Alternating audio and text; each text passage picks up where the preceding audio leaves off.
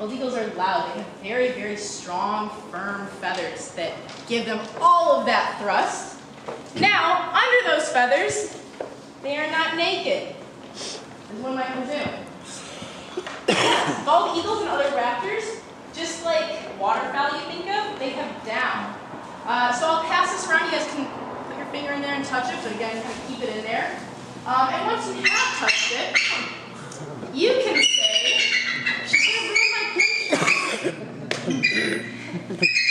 you can say that you have actually touched Queen's underwear. it's okay, I still joke from the entrance. Um, something else that I will pass around for you to check out is the bald eagle or the raptor's main weapon.